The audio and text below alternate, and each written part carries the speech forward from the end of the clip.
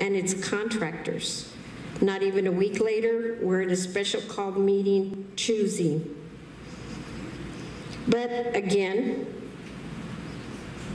we do our due diligence, and we found some shocking information.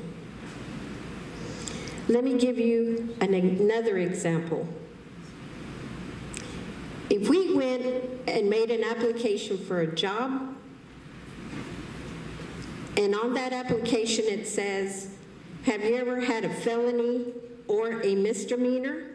And you misstated that question, they wouldn't even be calling you back for an interview. Well, guess what? We have a contractor here that lied. And I guess you don't want to get or make this district go into a higher standard. And if it was a misunderstanding, that person on that job application did not have any recourse.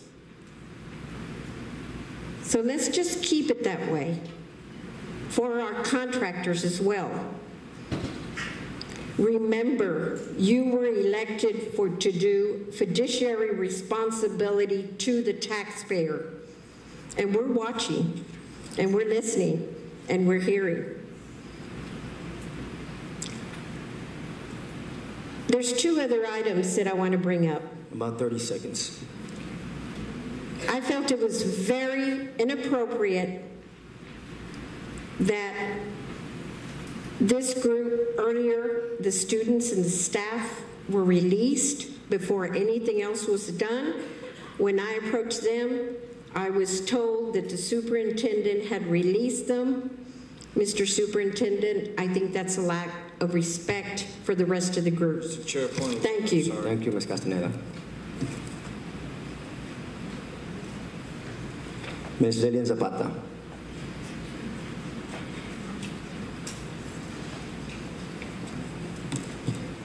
Good evening, board members, staff, community.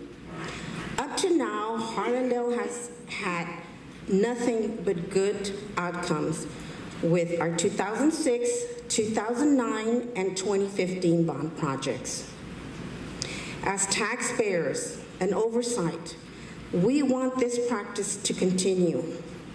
We do not want controversy nor negative outcomes with projects nor with the procurement process. We do not want Harlandale to be on TV when things go wrong. We want this whole building process to be as clean as possible.